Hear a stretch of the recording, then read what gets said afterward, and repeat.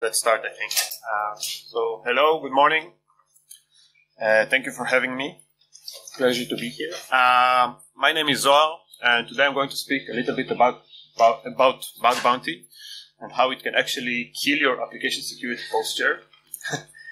and just the title alone, I'm aware, is a little bit controversial and might annoy some people, uh, especially as bug bounty over the last few years became the trend and the industry is sort of shifting its focus from traditional application security control and penetration testing and threat modeling and everything to more and more bug, bounty. So speaking a little bit on the uh, other side of bug bounty might hit it a little bit on the nose for some people, but hopefully throughout this talk you you'll be able to to see why I think there's actual risk here and how misusing bug bounty or misunderstanding bug bounty can really do you a little bit of harm, can even put your security posture at risk, uh, and how you know treating it as the buzzword as the fix all thing uh, is actually the down the downfall potentially of your application security posture. Um, so a little bit about the agenda, and uh, by the way, feel free to, to ask questions uh, throughout. Uh, I'm going to talk a little bit about what the idea of bug bounty, the philosophy behind it, what it was supposed to be, uh, when it just came and started, uh, and sort of what it became over the last few years and how it shifted. And then I'm going to share real life story from our experiences at Wix um, of what happened with our bug bounty program and how it sort of uh, shifted our focus. Um, then we're going to just talk about the risk, how bug bounty can actually do you harm, like straight to the face, no sugarcoating. What is the risk and what can happen if you misuse it? And most importantly, how not to let it happen. So how to how to avoid this risk as far as best as you can to try and have uh, actually the good results that you expect from bug bounty. Um, so a little bit about myself. Uh, so again, my name is Zohar. I am leading the application security group at Wix uh, for the last three years or so. Um, I've been in application security a little over a decade now. Um, started in consultancy, uh, penetration test, red team, SDLC, research. You can find some uh, blogs I've written online. Some of them got some traction. Um, did a lot of offensive stuff and a lot of bug bounty uh, myself. Um, I'll talk about it in a moment. But a little bit about Wix. Uh, if you've never heard, Wix is a website builder. Um, so it's a SaaS solution. Uh, you get hosting out of box. You don't need to worry about it. Um, and it's one of the biggest in the world. So we have over 250 million users, and the last time I heard, it's around seven or eight percent of the websites on the internet are actually Wix websites. Um, and on the back end of things, we have around 5,000 microservices, um, which translates to over 20k endpoints. Some internal, some external.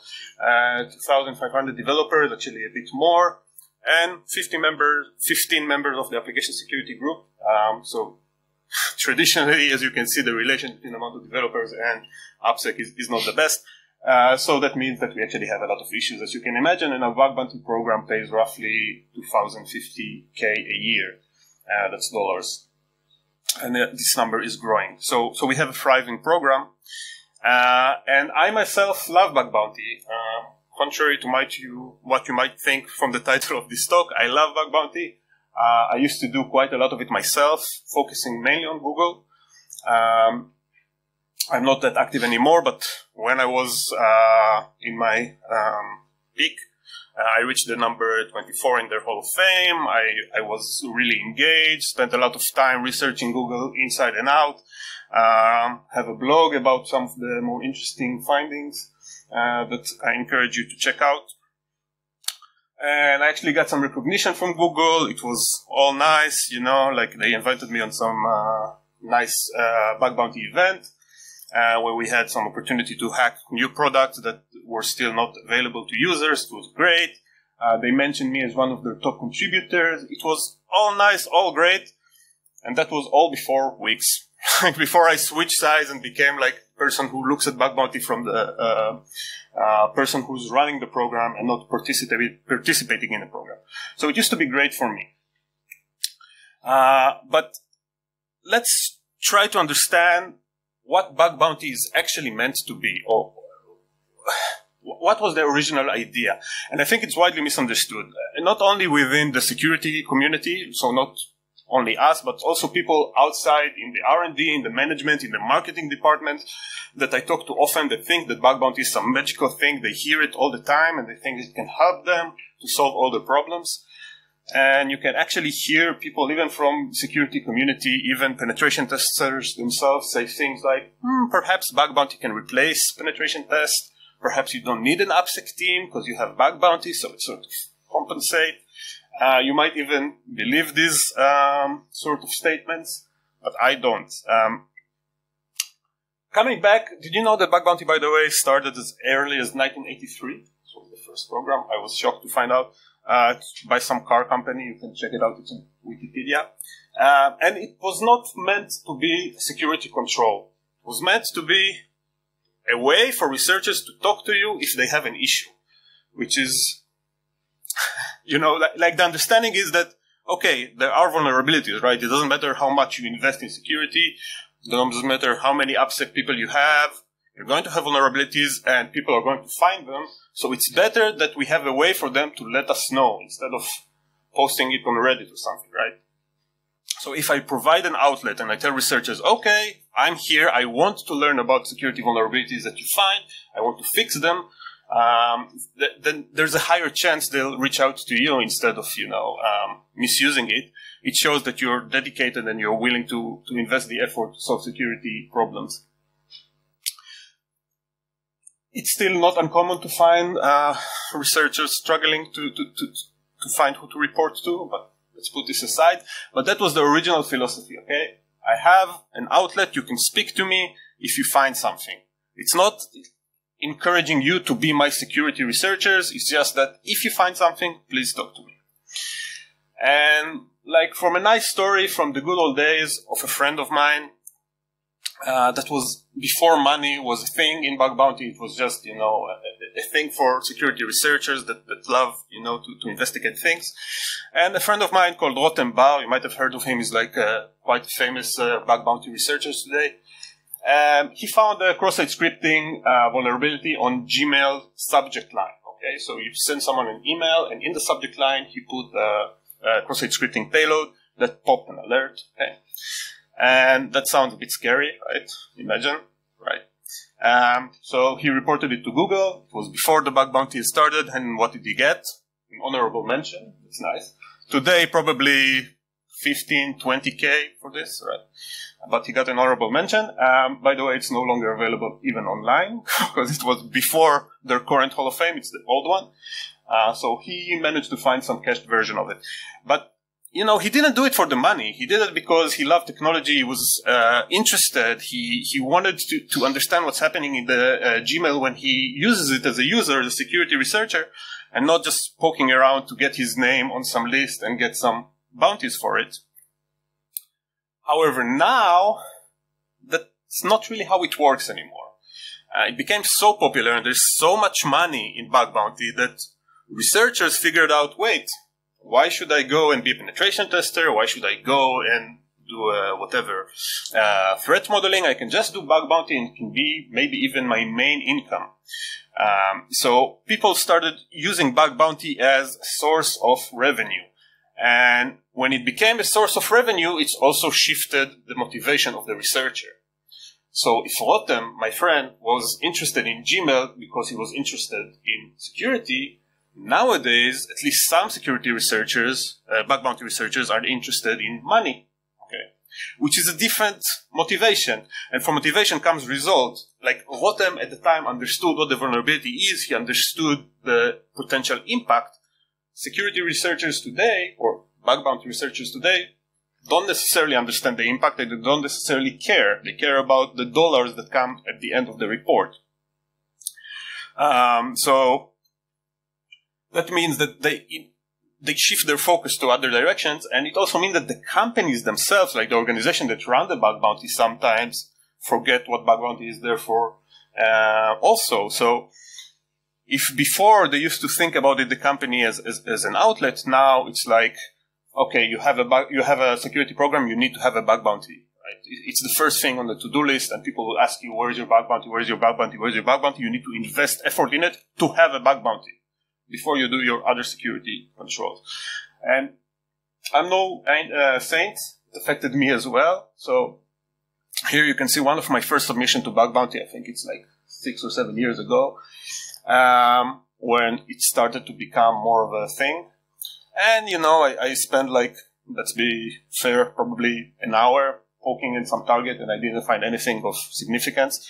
But, you know, I wanted to get my toe in the water, so I reported um, the most ridiculous thing ever uh, URL redirect loop, right? So I found an endpoint that you can point a user to and he goes into a redirect loop and the browser says, oh, okay, can't load the page.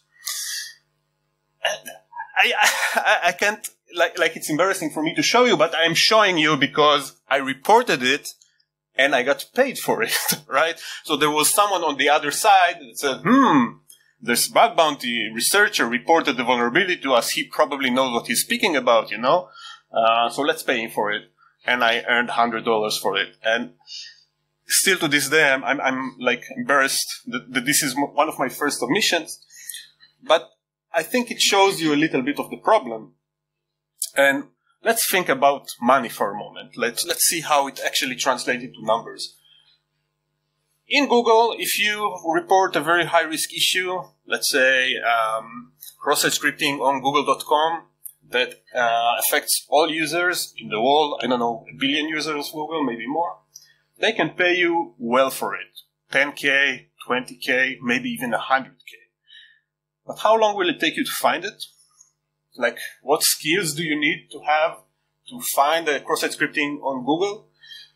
I don't know for everybody. Um, for me, it can take months. Like when I was um, doing a lot of bug bounty uh, with Google, sometimes I would spend weeks and months finding nothing, and maybe weeks and months finding a very low severity issue that is not worth 10k. So, and for all this time, you get nothing, right? If you don't find anything, no one cares.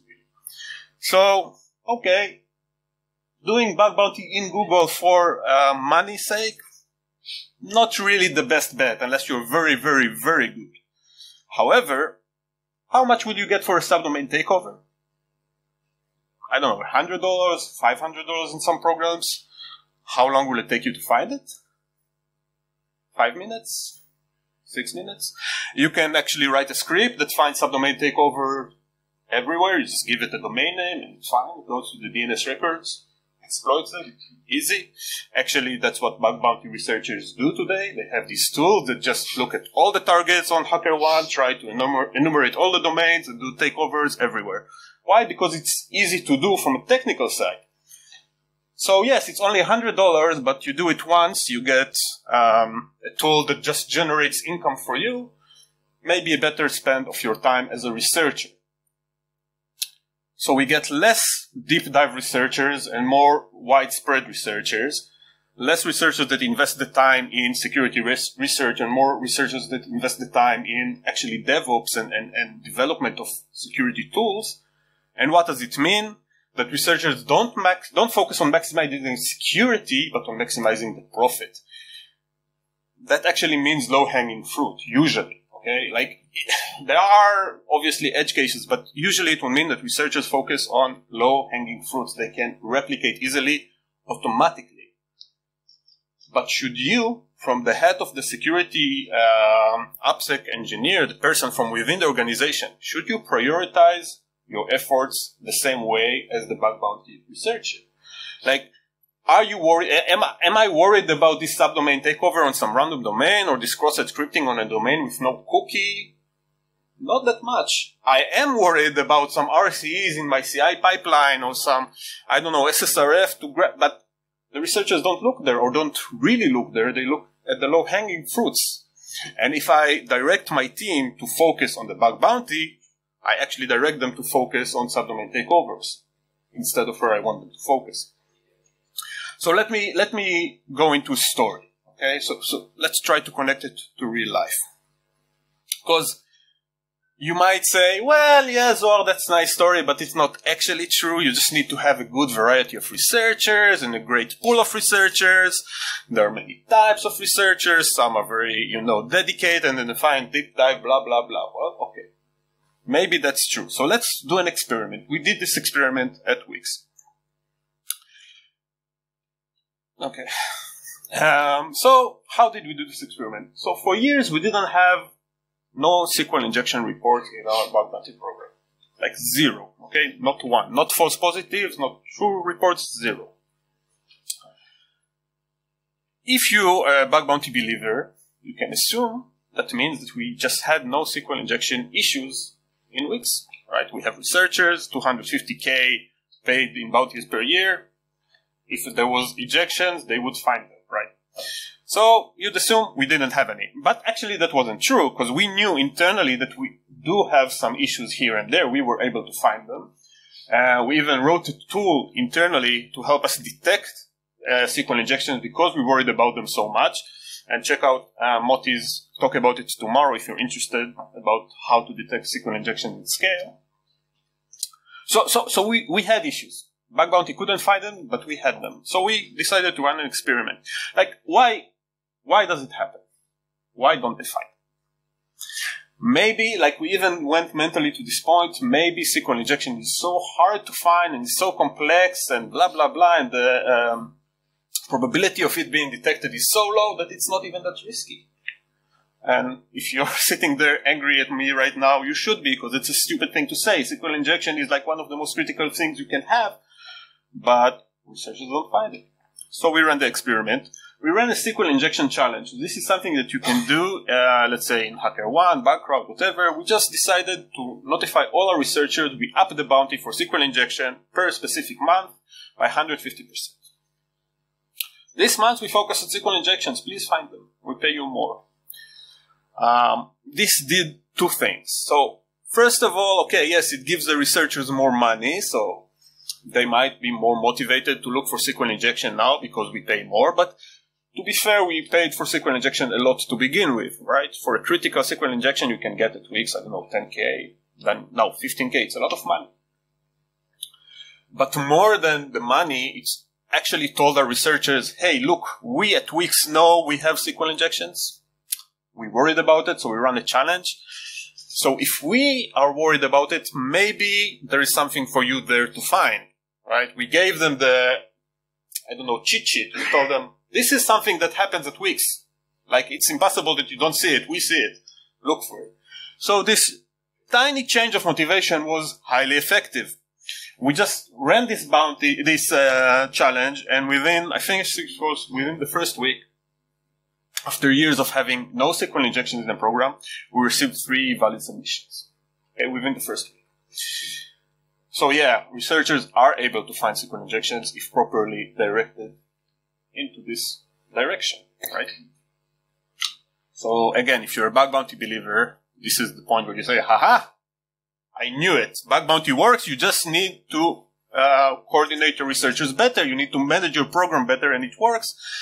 But I think it actually highlights why it doesn't work or doesn't work as we think it works because the whole idea of bug bounty is not to tell me what I already know right? If I know I have SQL injections, I don't really need the researchers to tell it to me back, right? I, I know it.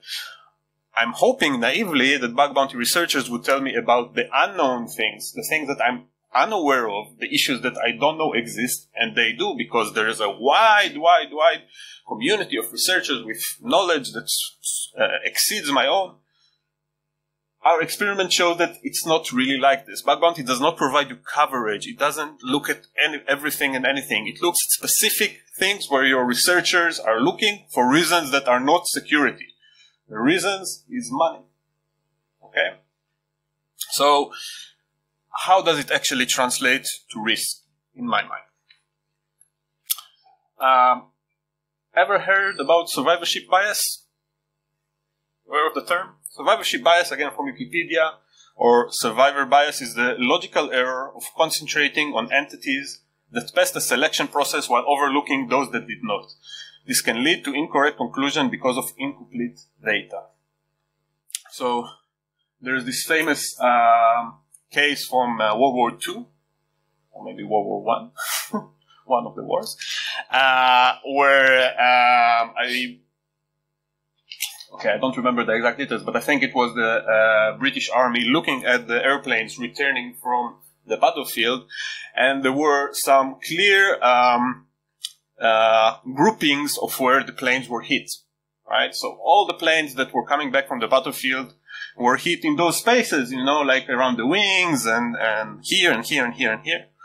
So the British Army said, well, so let's defend those areas. You know, clearly this is where the planes are being hit, right? and uh, luckily there was some mathematician there, forgot his name, that said, actually that's not how it works. That's the opposite of what you should do because these are the planes that survive. You know, you don't see all the planes that crashed. What you should actually do is protect this area that clearly, if you're hit there, you crash. Okay. So this is survivorship bias. Like, it, like you see a part of the uh, picture and you draw the wrong conclusions from it. If we try to think about it in terms of bug bounty, these are subdomain takeovers. Okay, you have a lot of them, a lot of them, right? And these are cross-site scriptings. You have a lot of these too. So what should you do? Should you protect these, or should you care about those, you know, hiding RCEs that you're not reported about, but probably someone is exploiting them right now? Hopefully not. So the risk, as I see it, the, the first and uh, foremost risk is relying on bug bounty to highlight your actual issues. Bug bounty can help you identify some recurring issues. Sure, if you have subdomain takeovers every day, you might need to look into it, but it might just be the focus of your researchers. They have their own motivation and reason to focus on specific vulnerabilities. Maybe that's what they know. Maybe that's what they automate. Maybe that's what's easy for them to produce. It's easy for them. It's money. It's not security. So you can't rely on them. Learn from the story that we uh, had at Wix. You can't rely on the bug bounty researchers to do the dirty work for you and find all the areas where you need to focus. You just can't. Bug bounty can help you a little bit in this, but generally you need to figure out where your risks are, where your vulnerabilities are. Um, and I think that the problem even escalated because almost all of us in the AppSec world are actually also bug bounty researchers ourselves, right? Like we, we do security by day, bug bounty by night, which is cool, right? Like we all like it, it's fun, it's nice. But it sometimes means that we also shift our uh, thinking as an AppSec engineer. And if at night we wrote a script that, you know, finds subdomain takeovers, maybe we bring it internally and now start doing it as an AppSec engineer and also focus on the same things. And I spoke to many of my colleagues over the last few years that encountered the same. You know, you recruit someone, they're super strong uh, bug bounty researcher, they have deep technical understanding, everything is great, and then they start looking at their own company as external researchers because they replicate the things that works for them elsewhere. So you need to be aware of it, right? You need to make sure your team, like you're the white hats, the, the, the, the white box researchers. You're not the black box penetration tester, and you're definitely not the black box uh, bug bounty researcher. And you need to focus on where your organization needs you, and not where it's easy for you to grab those findings, you know, and open those tickets. It's not the same thing. Um, and if you're not worried, and if you let this happen, you might find yourself with an entire security team focusing on the wrong things. Like you're, it, it, it's super easy to get uh, caught up in this mentality. You know, we need to keep our researchers happy. Bug bounty is important. We need to pay fast and fix fast. And um, especially people from outside the security community, you know, marketing uh, and, and R&D managers and people who don't do security every day can tell you, wait, this was from bug bounty report. This is more important than this issue that you found internally. They know about it outside.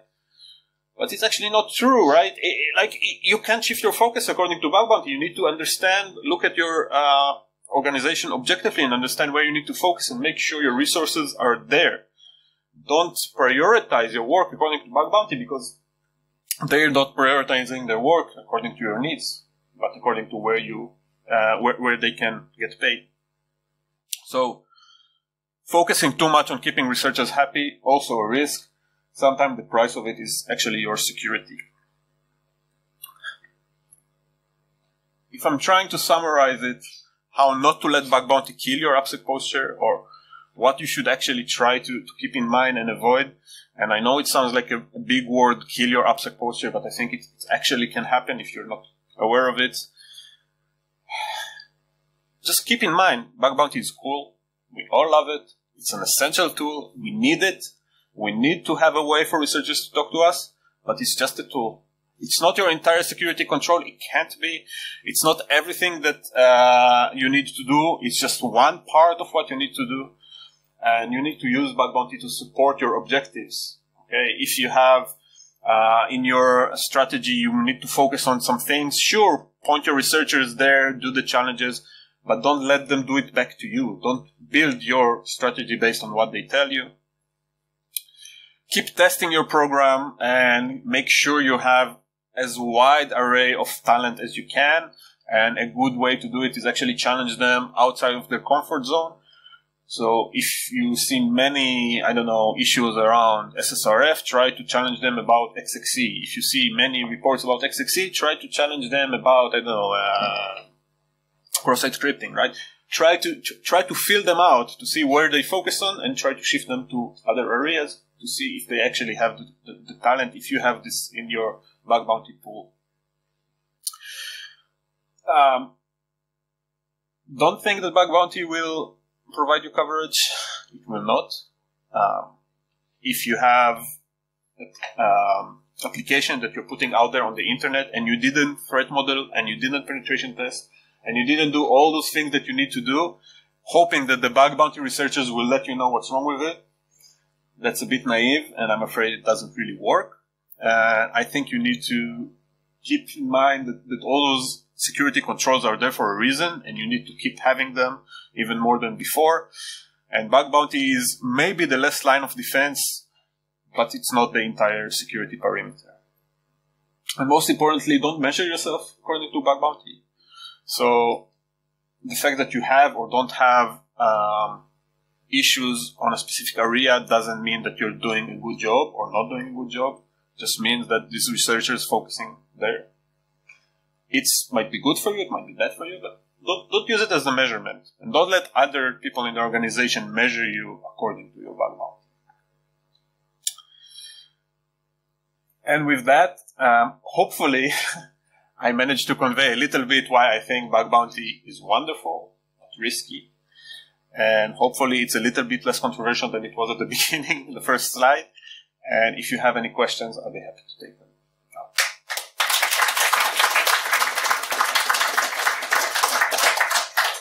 Yeah.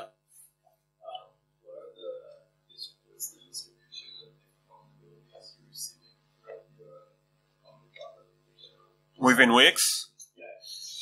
So I actually prefer not to answer it. Um, but but it's not as varied as we would like it to be.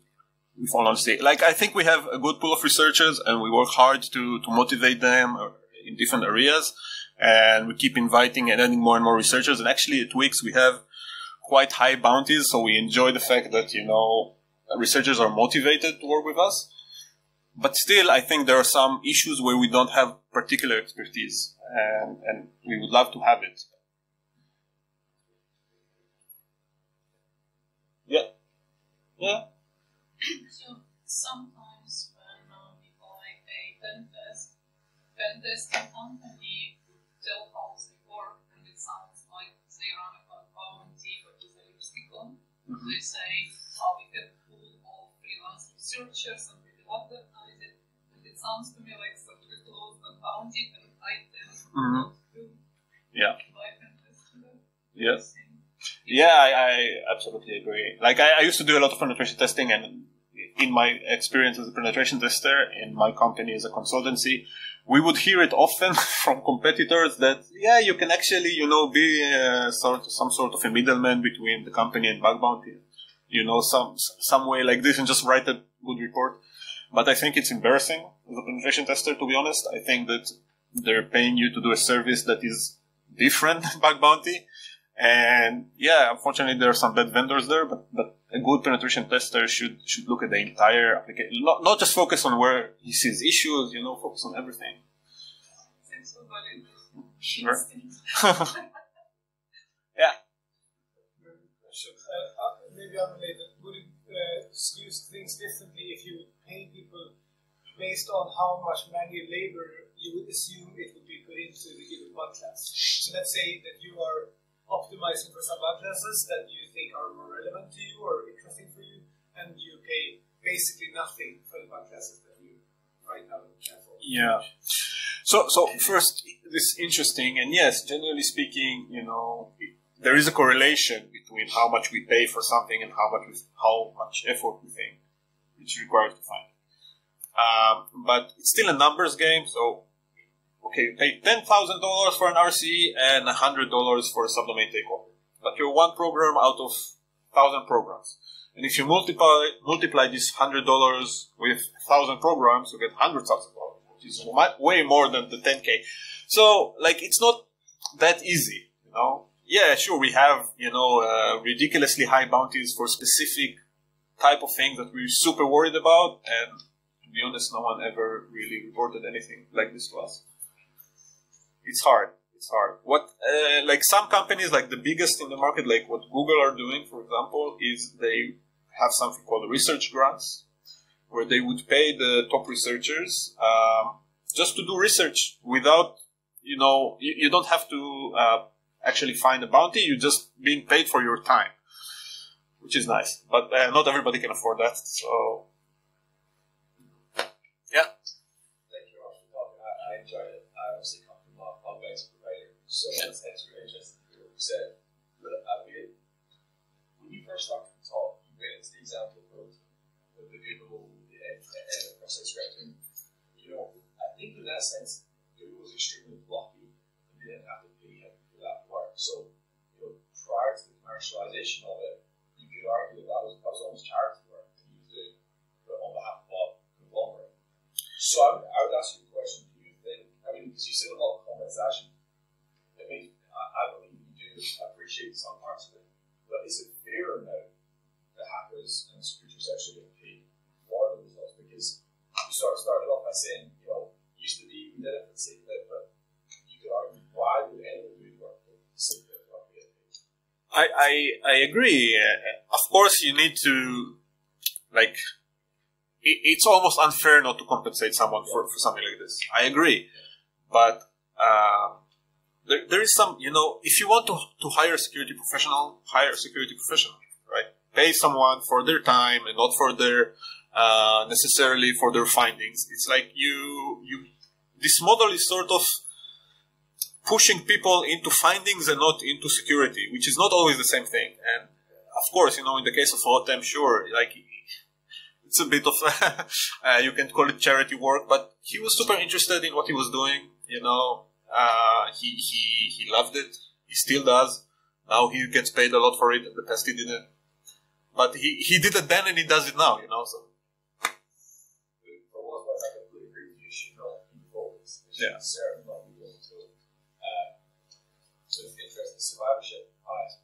very interesting. Yeah. And you have any key metrics that track to measure the health of your Wix program? So, for example, if you find this injection in three months, is that a good sign from that um, yeah, tricky. Uh, to be fair, since our challenge, we stopped receiving SQL injections again. Okay. Uh, almost entirely. Uh, we do have some metrics internally that we keep track of, especially you know to, to validate our other security controls. So let's say we have an issue, a repeating issue with bug bounty, we introduce a security control to prevent it, and we try to look at bug bounty to see if now there are less submissions or no submissions of the same control. Uh, and yeah, we look at how many how many reports we get, how many active researchers, how many types of vulnerabilities over time. Uh, HackerOne are helpful with that, you know, providing some dashboards. But it's always a question mark, you know. Yeah. Do you have a wide enough security researcher pool? I don't know. I don't know. Thanks. Yeah. What, what do you think about uh, exposing the one researchers to features, let's even before they fully released as uh, pre-production um, stage, let's say. They don't want you know as many numbers to find those Yeah, I think it's cool. I think it's cool. Uh, we do it. Uh, but it shouldn't be the only security control. Like you should first bring this product to a maturity level from security standpoint, standpoint that you're comfortable with. Then sure, you can expose it first to the uh, chosen researchers that you have.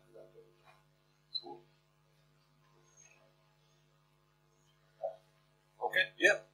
So, uh, you mentioned that you were check logging the specification rate. And uh, you were knowing there are few of them which are already there, but uh, they are not yet explored.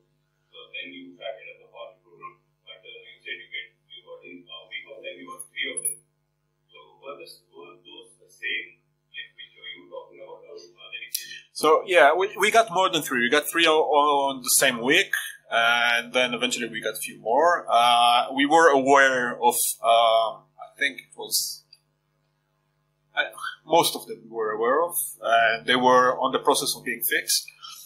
Um, but yeah, some were found that we, we didn't know about, of course, and it's good, it's great. Like, why didn't you just clear those vulnerabilities beforehand, like the smell detection dual, so if you're knowing it? Because it was sort of a test. You know, like we had actually was sitting with Moti who sits here, and we were discussing. You know, why does it happen? Why do we find the security, the SQL injections that they don't?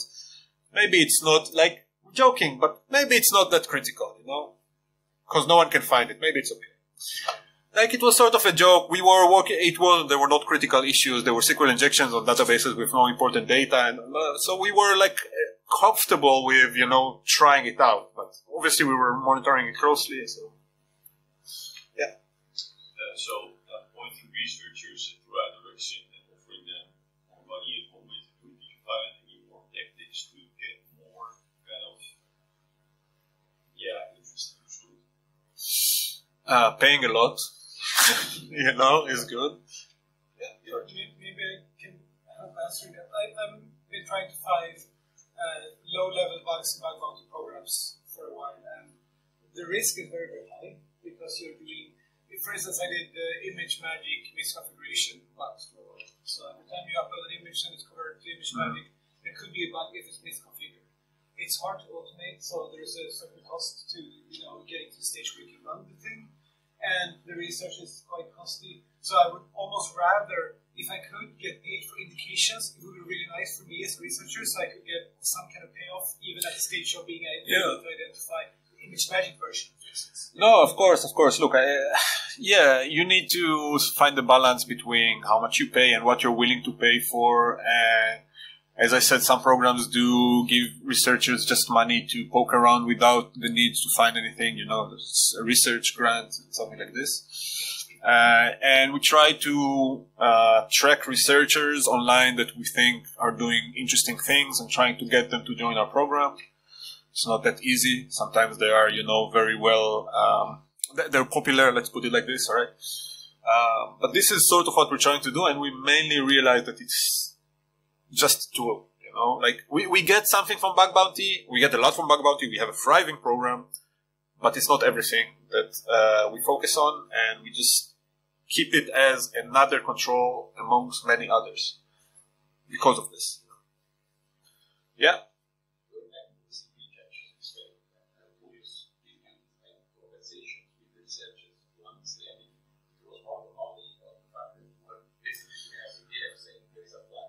Yeah, we we did have a conversation with researchers, and I think it was mostly like what when we said we are focusing on SQL injections, they understood this is something we need to focus on. There's money there, you know. It's like because otherwise there, there is a false sense of um, as a bug bounty researcher. Now, in my other head, like when I look at Google, Facebook, Microsoft, whatever, you tend to actually overlook some things because you assume they're already tested, right? You assume ah, there is no cross-site scripting in Google search bar because it would have been found billion times, which means that no one tries it, you know? So yeah, there, there is some of that also. Cool. Uh, if someone has more questions, feel free to reach out. Thank you, everyone.